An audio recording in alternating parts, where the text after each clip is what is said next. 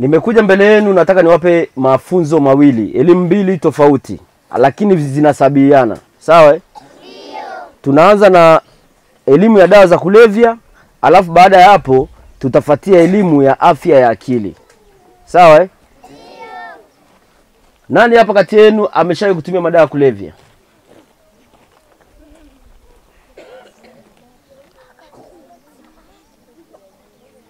Hakuna. Nani anafahamu akiambiwa madawa ya kulevya anafahamu ni kitu gani? Nataka nitoe zawadi fasta fasta, ambaye akiambiwa madawa ya kulevya ni nini anaelewa.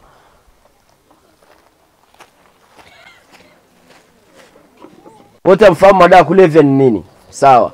Nani amesha kumwona mtu anayetumia madawa ya kulevya?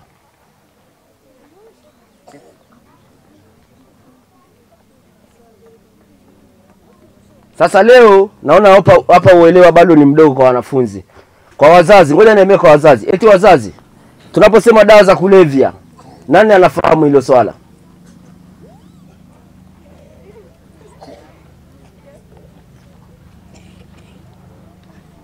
Basi elimu inahitajika.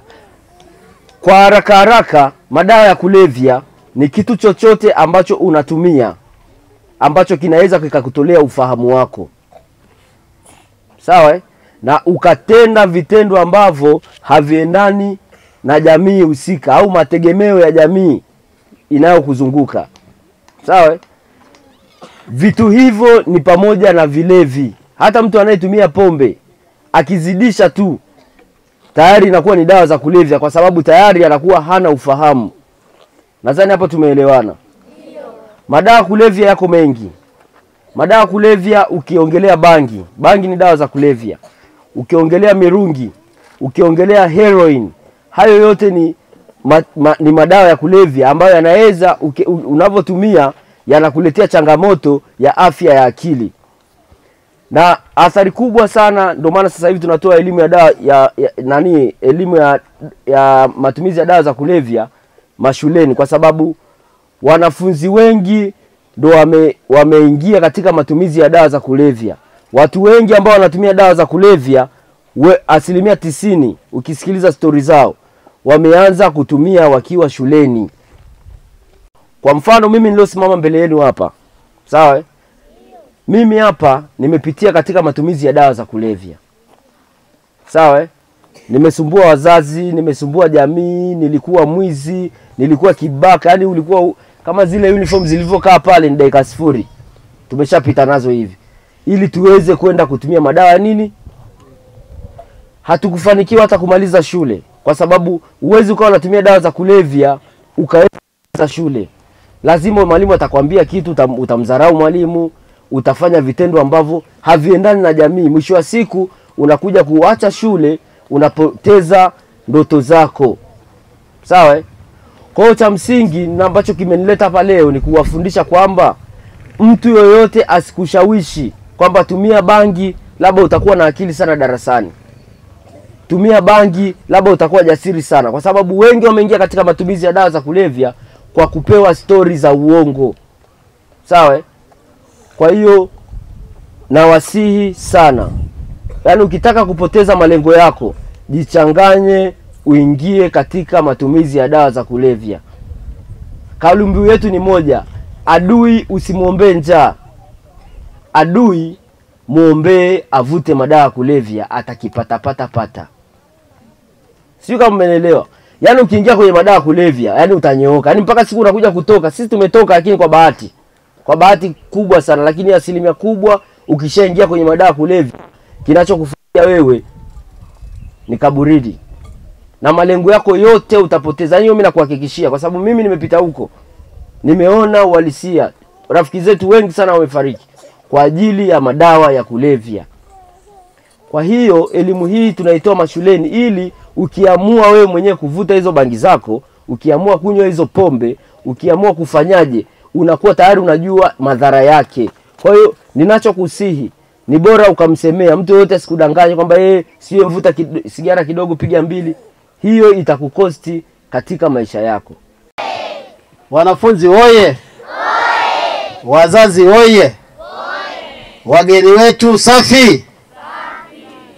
Uh, awali ya yote nichukue nafasi hii kumshukuru Mwenyezi Mungu ambaye ametupa zawadi ya kuiona siku ya leo. Uh, na kipekee nitambue uwepo wa wageni wetu ambao wapo kwenye viunga vyetu vya mtaa wa Ng'ong'ona, shule ya msingi Mwande. Tunawapenda wageni na tunawakaribisha na tunatambua sana uthamani wa muda wenu na vitu ambavyo vimejiandaa kwa ajili ya jamii yetu. Aa, nichukue nafasi hii kuwashukuru wazazi na kwa wanafunzi wote kwa ujumla kwa ajili ya kutoa ushirikiano katika jambo hili. Aa, ingawa ilikuwa ni ghafla sana, sijajua mazingira yalivyokuwa, na mimi nikaa naendelea na shughuli zingine, lakini naamini kabisa jambo ambalo linafanyika katika maeneo haya ni jambo jema ambalo tayari lengo ni kuhakikisha tunawasukuma watoto wetu kuwa na matokeo chanya. Kwa hiyo niwe na ujumbe mfupi tu kwamba tunaposhikwa tushikamane. Kuna mazingira ambayo tayari tunatakiwa sasa tutambue jamii yetu. Kitu cha kwanza cha thamani kuliko vitu vingine ni swala la elimu.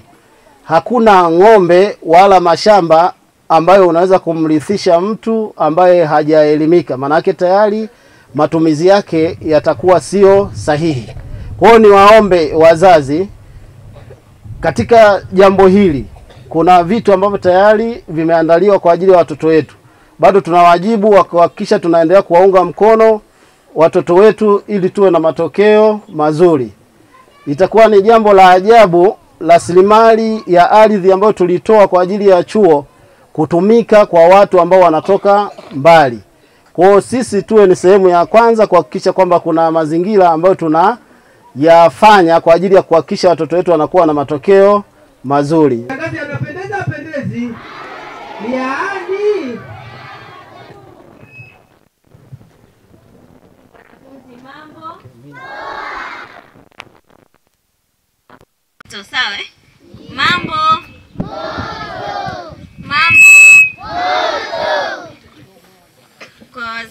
shikamooni.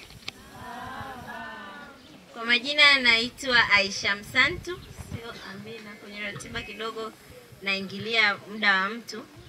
Ni mkurugenzi mtendaji wa taasisi inaitwa